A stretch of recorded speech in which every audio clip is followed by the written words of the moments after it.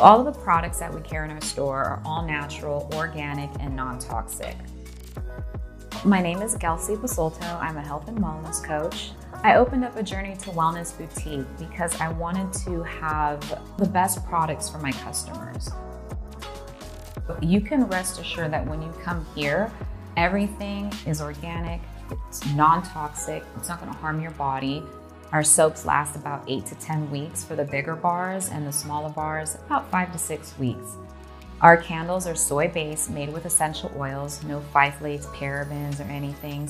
My goal is to help customers find a clean, organic solution to personal care.